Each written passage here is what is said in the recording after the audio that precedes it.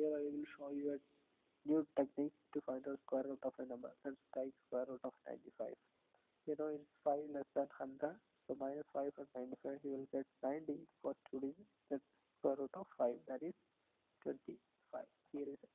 Then take 97 minus 3 94 and 49. Here is answer. Let's take 106 is 6 more than 100. So add 6. 112 and 36.